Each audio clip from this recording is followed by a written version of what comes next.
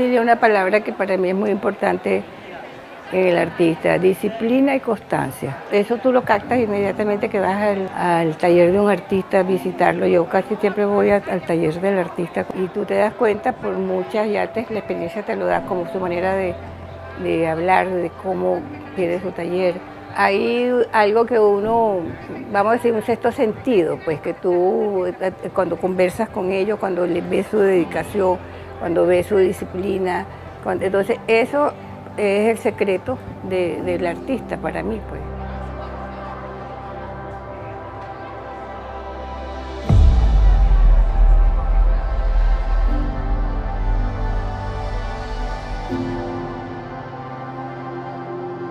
Magda la conocí yo cuando instalé en Caracas el estudio de artes visuales en la calle El Loro, en el edificio donde estaba la imprenta Chromotip. Eh, buscaba una secretaria y unos amigos me la recomendaron. Bueno, y fue mi primera secretaria en, esa empresa y creo que fue su primer trabajo. estaba jovencita, muy bonita. Mi comienzo fue allí, fue mi primer trabajo, fue mi primera experiencia del arte. Eh, llegué ahí porque me gustaba mucho el arte, yo no quería en esa época, pues uno tenía que estudiar Derecho, Medicina, Ingeniero, y a mí nada de eso me interesaba ni me gustaba. Un amigo de la familia en común le dijo, convenció a mi papá, que fue que en el estudio del maestro Cruz Díaz, que era una persona seria, y que yo podía trabajar allí y a la vez estar involucrada con el arte, que era lo que a mí me gustaba. En esa época ningún artista, casi ningún artista tenía taller ni estudio, pues los artistas tenían más carencias que ahora, pues, ¿no? El estudio era como un sitio de reunión, ¿no? De, bueno, también el maestro Hurtado, la parte de todos los amigos Maestro Vigas, todos, muchos artistas mm, que en la época pues ninguno era tan famoso como ahora, pues, ¿no? Y el taller eh, vivía lleno de amigos bandidos que venían a ver a la secretaria, ver que venirme a, ver a mí. No, yo creo que era más bien para, ver a Magda, la pasaban metidos allá todo el día. Para mí fue una experiencia muy interesante porque, bueno, yo estaba muy joven, pero tenía mucha eh, como ansia de saber y conocer y le prestaba mucha atención a, a todo lo que hablaban. Y fue verdad que fue una, experiencia muy interesante y, la viví plenamente. Y luego de eso, eh, un año después de la caída de Pérez Jiménez, el maestro se va a París. Me quedé un poquito en el aire porque ya no estaba acostumbrada entonces a entrar a trabajar una publicidad, que se llamaba la publicidad Paz, en aquella época quedaba en Candelaria. Por lo menos cuando mi esposo trabajaba en Sidor, yo me encargué un poco de, que se hace exposiciones en el, Teatro de Sidor, porque eh, en esa época mi esposo fue el creador de un periódico que se llamaba, que todavía existe, que se llama El Sidorito. Entonces, bueno, yo ahí hice muchos, muchos eventos, muchas cosas de, siempre relacionadas con el arte, ¿no? Pasé casi, casi ocho años sin ir a Venezuela, siete años. Y bueno, nos escribíamos de tiempo en tiempo, pero ahí no hubo un reencuentro y a partir de ese reencuentro pues surgieron muchas ideas. El método me dice, ¿tú no quieres trabajar otra vez conmigo? Después, estamos hablando pues, de 30, 40 años atrás, 30 años. Yo le digo, bueno, sí, ¿cómo no? Entonces mm, em, me fue a trabajar otra vez con él al taller. Un poquito más tarde, este, ella me este, tomó la decisión de hacer una galería, montar una galería. Y yo le dije, caramba, y cómo no, yo te puedo orientar, te puedo presentar los artistas que son mis amigos. Y le dije, lo que sería interesante para Caracas es que instalar una galería con una, tendencia eh, precisa. Me animé, busqué un local en el Parque Central que estaba en su mejor momento porque acaban de inaugurar el Museo de Arte Contemporáneo. Conseguí un local muy cerca al lado del museo muy pequeño y me acuerdo que yo le dije al maestro, es que ese local es muy chiquito, entonces él me dijo, no importa el tamaño del local, lo que te interesa es el contenido, que tengas obras de calidad. Bueno, cuando la galería se inauguró yo tenía 11 años y en ese momento el Parque Central era un boom, ahí se movía todo lo que era el arte. Me acuerdo que la inauguración fue una gran fiesta de arte, estaban los artistas, estaba Cruz Diez, estaba Soto, estaba Guinán, Sofía Inver, Alfredo Bulton, bueno, eso estaba full. También había muchos políticos, en ese momento también mi tío era el gobernador de Caracas y el Parque Central era el corazón del arte. Bueno, yo estaba chiquita, yo eso era lo que, lo que me recuerdo en este momento. La galería iba a ser geometría, constructivismo, cinetismo, que iba a tener una línea como la línea de Denis René en París. En los primeros años se dedicaba a la gráfica y el múltiple para darle acceso a la gente joven que pudiera tener una buena obra porque, como se dice, es preferible tener una buena gráfica que un mal cuadro. La señora Magdalena conocía a mi hermana, que era la encargada de la boutique menú en el Tamanaco. Cuando yo llegué aquí no conseguía trabajo. Estaba varado, estaba a punto de irme. Como la, mi hermana conocía a la señora Magdalena, le dijo que me diera trabajo de lo que fuera. Bueno, así fue, la señora Magdalena me dio trabajo ese día, este día, el primero de diciembre del 77, para hacer los mandados. Conozco a Magda en 1974. Cruz Diez me dijo, pasa por mi taller y le dijo lo mismo a Magda, con la consejo tal vez, yo quiero que ustedes trabajen juntas. Y desde ese, desde ese día somos inseparables, aunque yo esté en Europa, eh, nos entendemos muy bien, hay una bella amistad. Bueno, esa experiencia en Parque Central fue de 28 años. Yo inauguré un año, casi dos años después del museo, o sea, estábamos muy cercanos, ¿no? Esa fue la época de oro del museo, donde vinieron las grandes exposiciones. Gracias a Sofía, pues que todos sabemos lo que fue. La gente después del museo, antes del museo, pasaba por la Galería de Magda, que siempre tenía cosas hermosas que exhibir. Cuando ella se entusiasmaba con un proyecto o le gustaba, entonces ella te apoyaba, y ella, claro, con ese, ella pasaba por la galería cuando yo iba a hacer una inauguración, podía pasar el día cuando estábamos montando. El visto bueno de ella era muy importante. Pues. Trabajaba Luis Antonio Moncada, primo de la señora Magdalena. Duró un año y pico trabajando con él, pero la señora Manda lo recomendó para la Galería de Arte Nacional. Trabajó ahí un tiempo y después se fue para Italia. La idea de la FIA es de un amigo muy querido que falleció, eh, Luis Moncada, que concibió esa idea. Él le dijo, vamos a hacer esto, y Magda dijo, bueno, vamos a hacerlo. En ese mismo año que yo inauguro, se inaugura la GAN, la, Galería de Arte Nacional. Entonces Manuel Espinosa, que también teníamos muy buena amistad, lo nombran director de la GAN. Y él me dice, mira Magda, este muchacho es muy bueno, me dice, ¿no? Y yo estoy, ya se va a inaugurar la GAN. Yo me lo voy a llevar, no te pongas brava, pero yo me lo voy a llevar. Bueno, yo encantada, si para bien de él, porque era mi primo, pues, ¿no? Yo me quedo sola con Teresa Zapata, que ella trabajó conmigo también, la hermana Zapata, y entonces el equipo era Teresa Zapata, Luis Moncada y yo.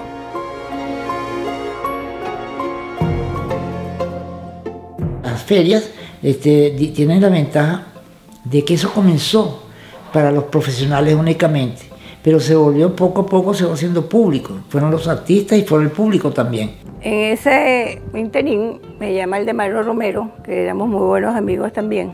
y me dice que se va a hacer los 500 años del descubrimiento. Él me proponía que yo hablara con las galerías para que todas las galerías se unieran a, a esa celebración hicieran exposiciones y tal. En ese momento que yo voy a una reunión con él para presentarlo, cada, cada persona iba a presentar su proyecto. En esa reunión estaba Zoraida Irazábal. Ella acababa de inaugurar la galería de museo. Estaba empezando, era su primer año de la galería de museo. Entonces, eh, cuando yo me, nos despedimos, ella me dice, oye, ese proyecto que tú trajiste, qué bueno es, me dice ella, ¿no? Este, podemos hablar para ver cómo se puede desarrollar. Maro, a los tres, cuatro días, da Zoraida conmigo, entonces él me dice, mira Magda, este proyecto es muy bueno, es muy bueno, bueno pero nosotros no tenemos cómo financiar eso, así que yo te hago dos recomendaciones, o lo vendes o lo financias tú. Salimos, Zoraida me dice, mira, Magda, el proyecto es tan bueno que vamos a arriesgarnos. Vete mañana en la galería, nos reunimos y, vamos a ver cómo lo manejamos, ¿no? Entonces yo me voy con Luis, nos reunimos Ana Pina, Zoraida y yo, y decimos, bueno, vamos a arriesgarnos. Bueno, vamos a empezar a hacer citas con empresas, con bancos, Este, vamos, Luis iba a ser, fue la persona que iba a empezar a viajar, que empezó a viajar, entonces quedamos en que financiamos nosotros, este, le pagamos un sueldo mientras que conseguíamos financiamiento, hicimos todo un, arriesgándolo, bueno, a ver qué pasaba. Voy a la segunda feria de Miami ya iba a vender la feria, ¿no? voy con Luis a vender la feria y bueno, en realidad fue un éxito. Regresamos ya con toda nuestra feria preparada y bueno, que la feria se dio y fue un éxito en el Hilton en el año 92, fue un éxito de, en todos los aspectos de calidad, de público, de todo, ¿no? Entonces, de ahí, gracias a Dios, arrancó la FIA con muy buen pie. Los primeros FIA eran verdaderas exhibiciones de arte con ahora, con la falta de dinero, viene siendo un trabajo magno. Cuando vienen las galerías a la FIA, ellas no vienen solas. Magda viaja, ella habla con las galerías y las convence que vengan a exponer a Venezuela. Ahí se dieron a conocer eh, importantes artistas latinoamericanos eh, y europeos en una línea, en todas las tendencias que se marcaron, pues que se marcaban en ese momento. ¿no? Eh, vi una confluencia del arte moderno y del arte contemporáneo y hay figuras maravillosas que fomentaron eh, hicieron posible la feria eh, del arte, la Fiat, en Caracas. Esa, esa feria tiene una trascendencia internacional. Ya en toda América Latina se habla de, se habla de la, de la feria de Caracas. Y yo creo que eso va a ir creciendo a medida que va pasando el tiempo. Las ferias van tomando mucha importancia.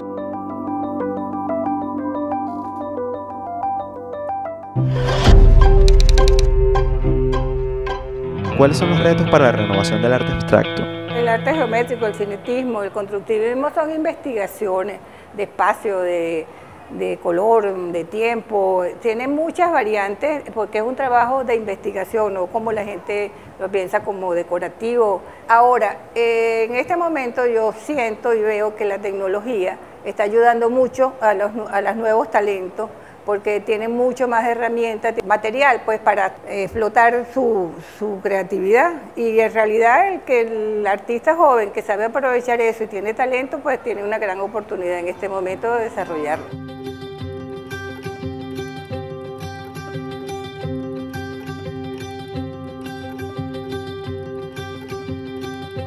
Dentro de Venezuela, mi abuela ha impulsado un movimiento en específico que ha sido el movimiento geométrico. Le ha dado una oportunidad muy importante a lo que son los artistas jóvenes para que puedan desarrollar y demostrar que en la geometría no todo está inventado y nunca lo estará porque el arte es un universo infinito ¿no? y cada persona es un mundo y por lo tanto cada obra siempre será un mundo distinto. Ha sabido mantener una línea, una, línea de conducta. Siempre ha defendido todos los artistas constructivos, cinéticos, eh, abstractos, y ha, pues, ha eh, informado a la gente qué tipo de arte es. Pienso que ella tiene un esquema muy, muy particular, bien establecido dentro de lo que es la galería. Mantener una constancia dentro de un aspecto específico de las tendencias artísticas es, es un, un, ejercicio bastante fuerte. Es muy, hay que tener mucha constancia, tesón, dedicación. No lo veo nunca como un trabajo fácil muy admirado cuando vi su galería en el Parque Central.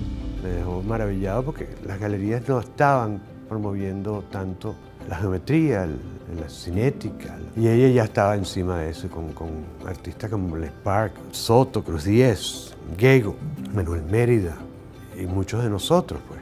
Pero quedé impresionado, realmente impresionado, que no había visto una galería que manejara el arte con, con tanta altura.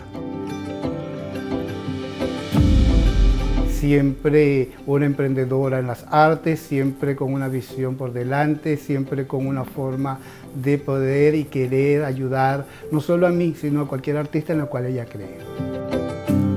Ella ha mantenido esa firmeza, esa rectitud durante todos esos años Y, eso es realmente un legado bastante importante porque ese es un, un aporte fundamental al arte, particularmente al arte venezolano.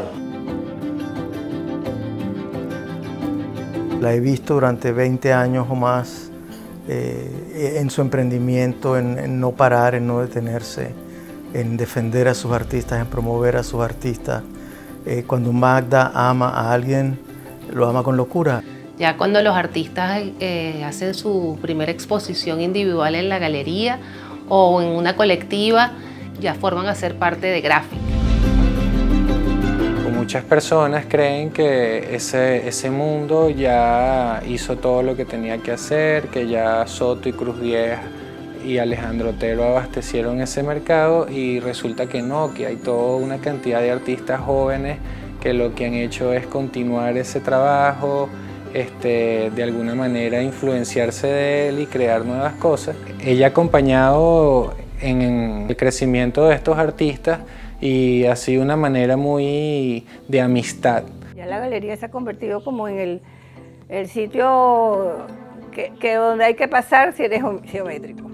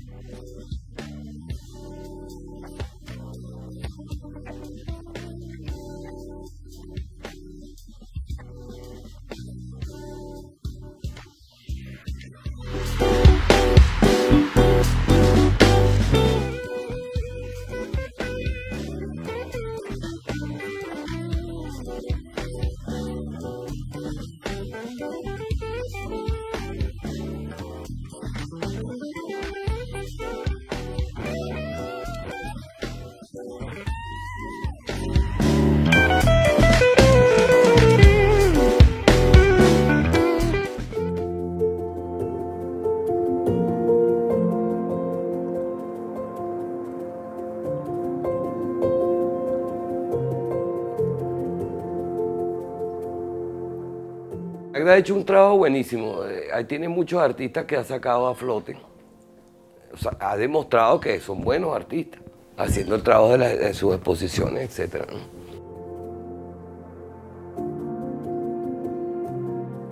Ella ha ayudado mucho a los jóvenes, los consagrados, como le decía yo a Jesús Soto.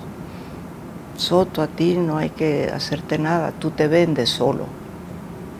Pero a los jóvenes hay que decir, este, este es bueno y tiene futuro. Y ella confió, entonces ese ojo clínico no lo tienen todas. Yo he tenido mucha suerte porque me he rodeado de gente maravillosa. Y ella es una eminentemente importante persona, digamos, en el éxito de mi obra. Además de que le pongo toda el alma, pero trabajar con ella me abrió muchas puertas. Y ha sido muy constante en su, en su trabajo y, eso es un valor que, que no tiene precio. Yo esta galería la, la, sigo desde que soy pequeña, porque yo frecuentaba mucho el Parque Central y desde entonces yo conozco esta galería. Entonces es como un sueño realizado de estar aquí en manos de la señora Magdalena Arria, porque realmente no creo que hubiese podido estar en mejores manos. Tiene ese empuje, esa fuerza de ir a las ferias, que bueno, el que ha estado en una feria sabe el, esfuerzo que conlleva, el compromiso que ella misma ha tenido con, con el arte, con sus artistas. Siempre es una actitud emprendedora, positiva. Desde un principio reconoció mi obra, le gustó mi obra y ella ha sido un impulso ha sido una persona que mm, cuando yo he dudado y le he preguntado, ella lo único que tiene para ti son palabras de que usted tiene que seguir adelante, usted tiene que seguir trabajando, usted no puede dejar de hacer esa exposición, usted no puede dejar de ir para allá.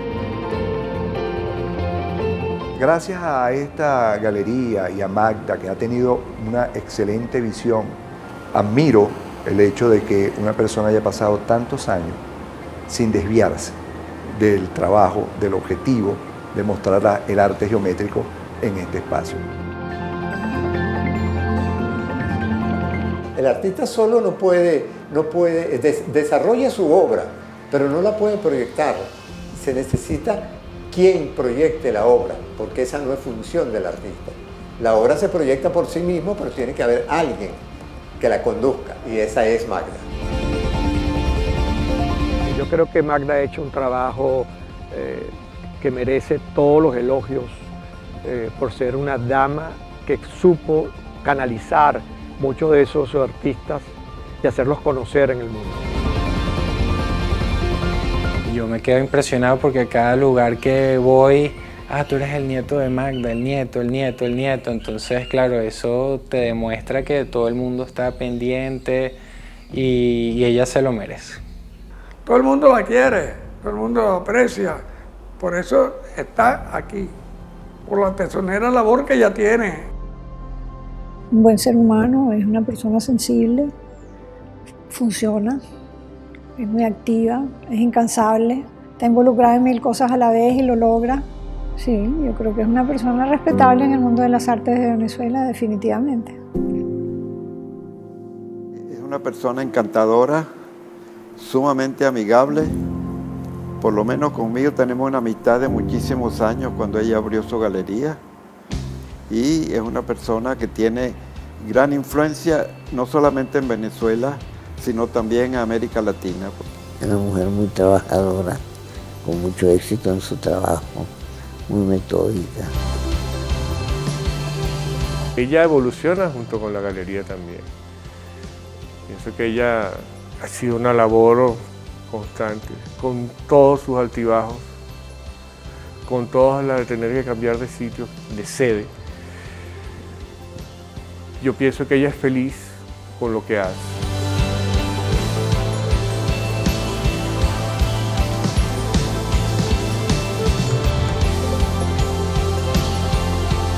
Casi todos los artistas que, que han pasado por allá que han pasado por Graphic eh, son, han sido agradecidos con la galería, con la música, con todos los que trabajamos allí, porque tanto conmigo como con Suárez han sido, son todos, yo siento ese afecto, ese cariño, aunque ya no estén con nosotros, siempre pasan, siempre te saludan. Es emocionante, pues, cuando tú, como dice, cuando ves los hijos crecer, pues, ¿no? se van, pero no te olvidan.